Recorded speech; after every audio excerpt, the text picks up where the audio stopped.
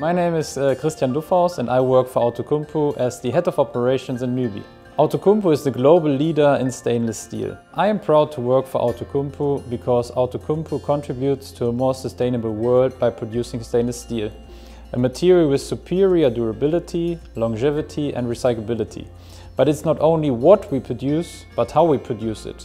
We reduce the impact on the environment um, by proactively developing our production processes energy and material efficiency, and solutions for byproducts of our operations. Hi, my name is Tina Dam. I'm the technical manager here for Outokumpu Stainless AB in Nyby Torshälla. The process here in Nyby is that we pickle and anneal the material and we can do that in the two pickling and annealing lines with L60 and L55. The purpose of the lines are to scale break and to soften the material because we need to roll it in the cold rolling mill. In the process it's also really important with having the inspection. So in both L60 and L55 we have a visual inspection of the coils because it's very important for us to deliver a good quality for the customer with no surface defects and with a good looking surface. And of course today sustainability is a very important issue. So when we do different upgrades or we do different projects, even simple improvement projects, we always have to think about how can we reduce the energy consumption? Can we reduce the water consumption? Can we reduce transports?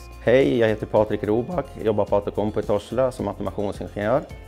Jag har varit delaktig och drivit ett projekt där vi har förbättrat vår avfettningsanläggning då, där vi har haft problem med avfettningsvätskan. I vår färdiglugnslinje där vi processar vårt material så har vi en avfettningsutrustning som tar bort oljan från vårt materials yta och där fick vi då tidigare ett problem med att eh, oljan inte försvann ifrån vår vätska då, utan att det blev som eh, etsningar på materialet. Då.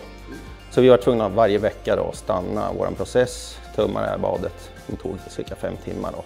fylla på med nytt då för att kunna starta produktionen igen.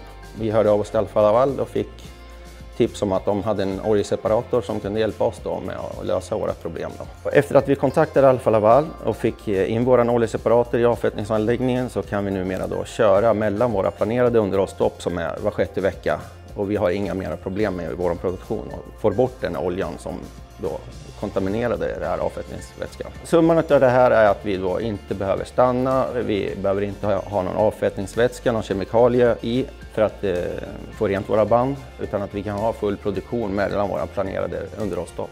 And the big sustainability improvement has also been that due to less scrap, due to better quality, the carbon dioxide has decreased by 100 tons.